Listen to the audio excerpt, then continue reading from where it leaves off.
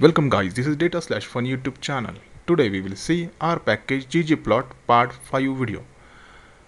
In this video we will see how to plot histogram with customized color, number of bins and facet with pointer. In previous video we saw, in part first video we saw scat scatter plot, how to plot scatter plot by using this ggplot and then part second we saw the how to customize the darkness of point of scatter plot and size of scatter plot. Then in 3 and 4 we saw the how to do data exploration of categorical variable. If you not saw the first four videos then check the description of this video. The link of first part 4 video is available. So don't miss these videos also because you get some good knowledge from that video also. So then please guys subscribe this youtube channel for getting latest update in data science and press bell icon for getting latest new video notification. So let's see how to do histogram by using ggplot2 R package. So first you need to install these packages. If you not install this ggplot2 package breakdown package and plotly package First you need to install in your RStudio by this command install.packages ggplot install.packages breakdown install.packages plotly. I already installed these packages. That's why I just recall these packages by library function. Library breakdown. Breakdown package is only for the data set.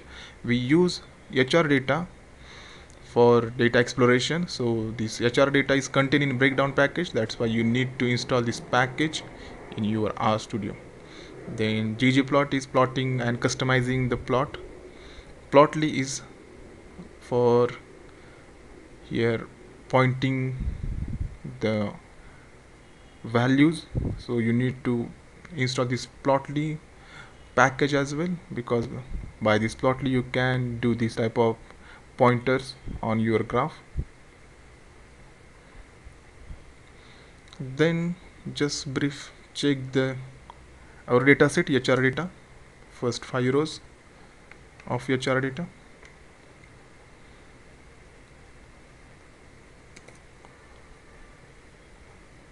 First column is satisfaction level of employee then last evaluation then number of project of employees then average monthly hours working of employee. Then time spent with the company in years work accidents 0 and 1 left 0 and 1 promotion in last five years 0 and 1 sales means there are various type of department management r&d so this column is for the departments and salaries. There are three type of salary low medium high. So this variable also we saw in uh, part 3 and 4 video. So we explore this variable categorical variable by um, bar plot and tree map.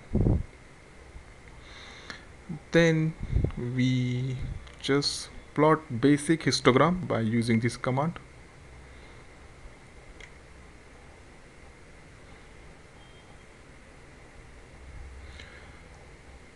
Ggplot HR data or dataset name. On x-axis we plot average monthly hours then we want histogram then that's why here is a command geom underscore histogram. We can decide bin size also by using this command. bins is equal to 20 you can customize here 30 40 then fill is equal to blue then bins will be in blue color and color is equal to black then border of bins is black. Then lab command is for the title of graph and give the label of x-axis and y-axis. Here is the title is average monthly hours working of employee and on x-axis title is average monthly hours. Let's run it. Control plus enter and our hist plot object. See this is simple histogram. But you can see here it's not uh, giving a pointer and values uh, as well because we not uh, use plotly function in plotly you can set a pointer here then we present here counts on respective bins by using this command ggplotly hist. By this command you can easily read the graph. you can check the specific counts and what is the buying and all the values it shows. By this plotly package you can read this graph. By this command gg plotly our plot object. Then next we plot this graph for all the departments. So how to do it? Let's see here is a command same command as above. Ggplot our hr data set then on x-axis average monthly hours plus geom underscore histogram. bins is equal to 20 fill is equal to blue. Color of border will be black then labs. Title is equal to same average monthly hours. Working of employee then a on x-axis label average monthly hours. Then facet. By facet command you can plot the histogram for each and every department.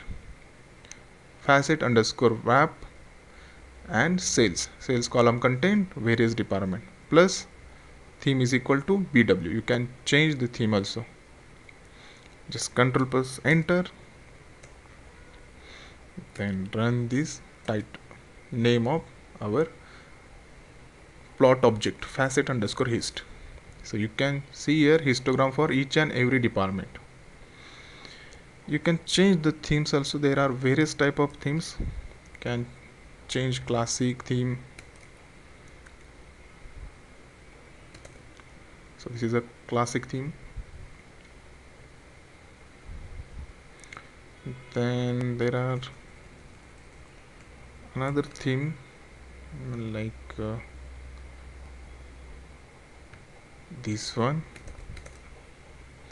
This theme also nice I set here BW theme.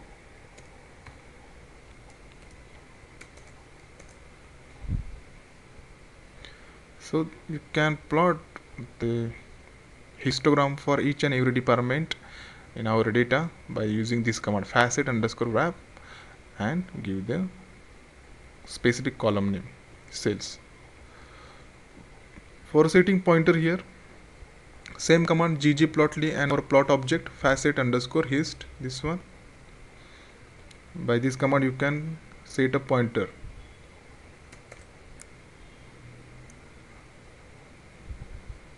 See by this command you can check the each buying value and on x-axis and y-axis values.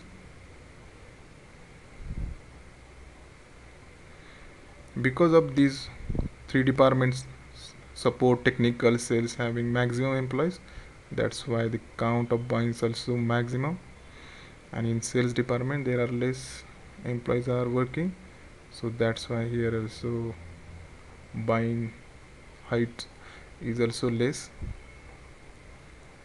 So by ggplotly you can read each and every value on the x-axis and y-axis you can change here the